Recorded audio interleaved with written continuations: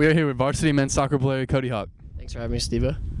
After 0 13 season last year, how do you expect to change? I expected to change by having a new coach this year, which we're really proud of, and hopefully we can win a couple of games. What's your goal and your team's goal this season?